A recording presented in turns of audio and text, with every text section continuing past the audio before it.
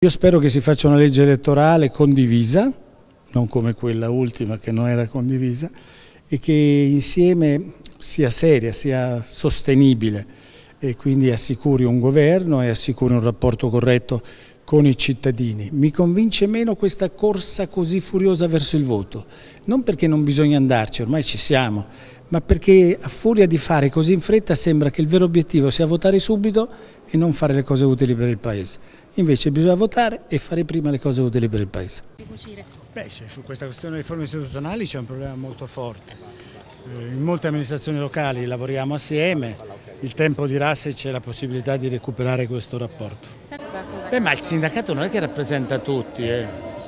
cioè il sindacato non ha il compito di rappresentare l'imprenditore, rappresenta il lavoratore, rappresenta il precario, il giovane, quindi è evidente che non tutti possono essere rappresentati dal sindacato. Il sindacato è una parte e quindi l'importante è che rappresenti bene questa parte, tutto qui. Se... Non puoi chiedere al sindacato di avere la totalità dei consenti, non è mai avvenuto.